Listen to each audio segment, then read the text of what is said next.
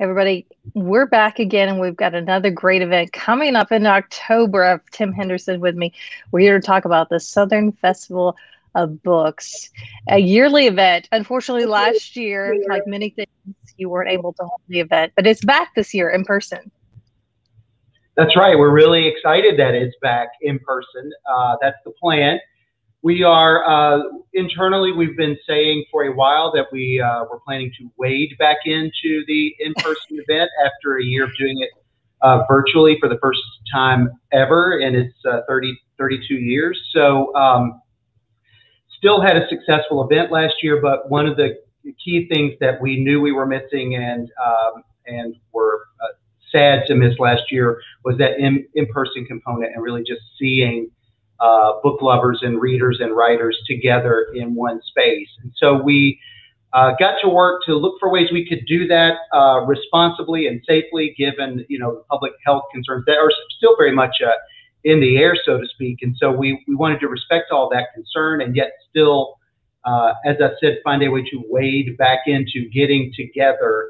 That's such an important uh, component of the festival. And so that's the plan. This year we will be doing the first ever hybrid uh, Southern Festival of Books. So we will be in person for two days, the 9th and 10th of October. That's Saturday and Sunday. So no in-person programming scheduled for Friday, uh, as we normally are a three-day event. That will be different this year.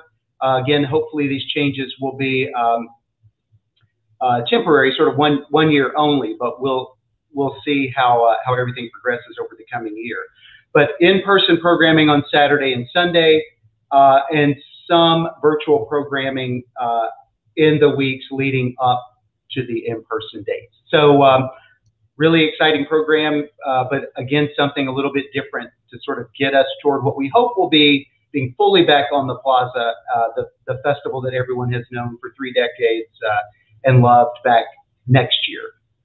Yeah, you have some great special guests. Tell me about that. I mean, that's pretty incredible after taking a year off.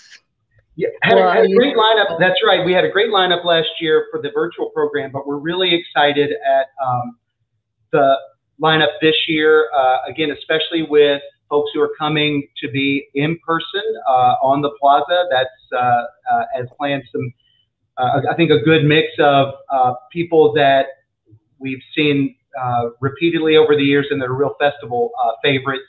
Ron Rash will be at the festival this year. Rick Bragg, uh, Wiley Cash. So um, a, lo- a, lot of faces and authors that uh, that people know and love and are familiar with will be joining us on the plaza, um, as well as always the case uh, with the festival.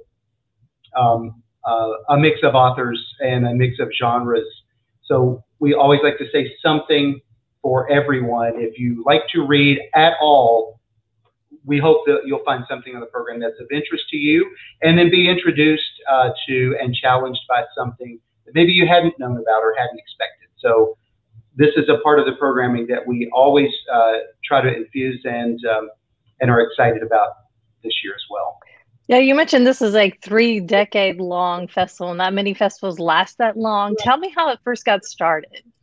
Well, we first, uh, so there's a sort of pre-annual event uh, that that was tied to uh, the Tennessee homecoming um, in the late 1980s, and so uh, that was really an event that brought authors back to the state to celebrate the literary life of the state.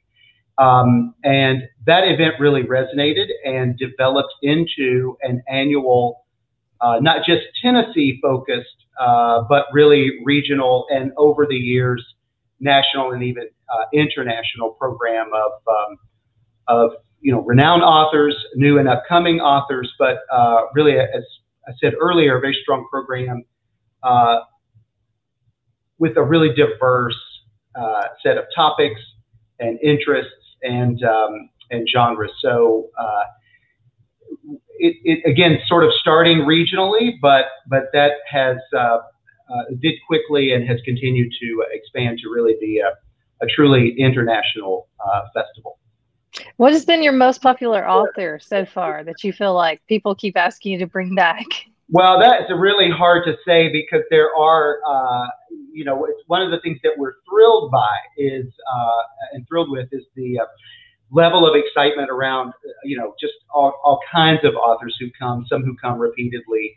Uh, some of the ones I mentioned earlier are festival favorites. I mean, we are always asked when Rick Bragg is uh, going to come back. You know, when will Ron Rash be here? Lee Smith. I mean, there are a number of um, authors who have been visiting the festival in repeatedly as they have new books coming out uh, that have really become festival favorites. But um, it, it, would be hard to say a favorite, but there really uh, there really is a sort of uh, cohort of authors who've come back multiple times uh, because of uh, just the sort of excitement around their visits when they do have new books um, new books coming out. Yeah. Uh, tell me what people can expect. Is there a charge for this festival? The, the festival is uh, continues to be, as it always has been, free and open to everyone. It's really important for us as programmers. That's a really important uh, part of the festival uh, character. So um, we want to have that remain free and really open to everyone. So there are no paid uh, events at the festival. It really is supported by uh, the generosity uh, and the gifts of people who do support the festival financially as, as well as with in-kind services and goods. So that lets us be able to keep that uh, event open to everyone. Um, that's a very important part of it. Uh, that remains this year, and uh, we, we, we vie for that every year, that we keep that um, entire weekend free and accessible. What you'll see is uh, very much like, I mean, again, we talked about sort of wading into the festival after a year uh, online. So what you'll see are a lot of things that are familiar if you've been to the festival in past years.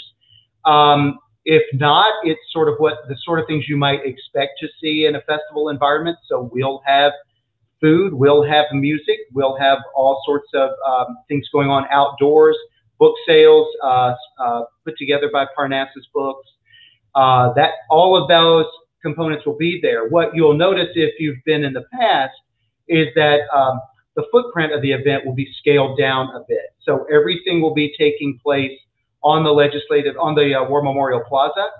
So that's right at the foot of the Capitol uh, between 6th and 7th and uh, Charlotte and Union in that area right there. We'll be sort of taking over the War Memorial Auditorium. So one of the things that we're trying to do is program events uh, in spaces where people will will feel comfortable coming back out, being in the public, um, as long as that can be done responsibly. So we'll be doing sessions. Uh, sort of for the first time outdoors. We're going to have some kind of um, uh, areas designated as festival session areas on the plaza, tinted, uh, but also sort of with uh, respecting a little bit of distance and then using the War Memorial, which is uh, you probably know a pretty good size space and will allow us to spread people out and still get a good number of people in there. So again, what we're looking at is how to do this responsibly and respectful of people's concerns about public health, but at the same time giving the opportunity to come back together um, and enjoy that space together over the over the course of those two days. Yeah. Uh, one, one of the other things that's different um, this year is that uh, we, are not really programming for uh, youth under 12. So, so that age group that's not yet able to be vaccinated, um, we're sort of holding back on programming for them specifically. So that that sort of outdoor kids area that everybody knows and loves, uh, we're not going to be doing that this year. But we will have some YA programming. There definitely will be uh, youth programming, uh, and even in the virtual program, we'll have some YA authors. That component we're holding off again until next year when we hope to bring that back fully and, and really do everything um, uh, as we've historically done it. But the other things, you know, music, food, the beer garden, those things will be open, just sort of spread out. And again, everything outdoors except for the programming that we do in the War Memorial Auditorium, which we'll be doing uh, all day on Saturday and Sunday. It's a great event. I've been before. It's been a few years since I've been. You can purchase. Can you still purchase books? You can have that available this year.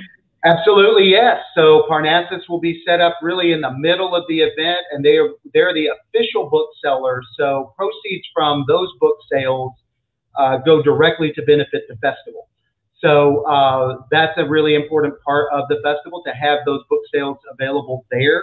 So every author on the program will have books available for sale there. Yes.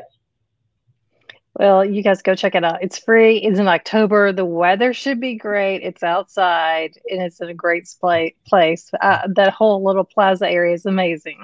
It's great. Yeah. We love to see it transformed and uh, are looking forward to that festival atmosphere being, being back in downtown Nashville with the uh, event this year. You guys have a Facebook page, and I was just looking at you. Keep it pretty well updated. tell people where they can go find more information. And you mentioned there's going to be virtual events leading up to the festival.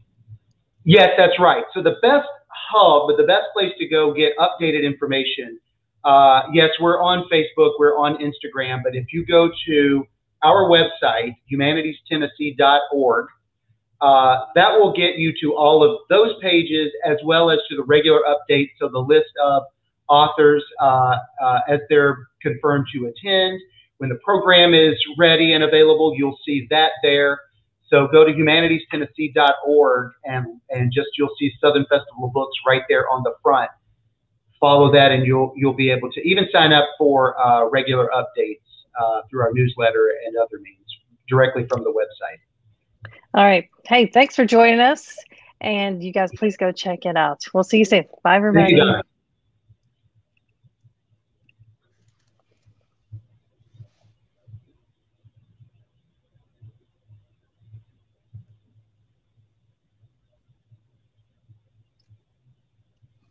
I think it's trying to end here.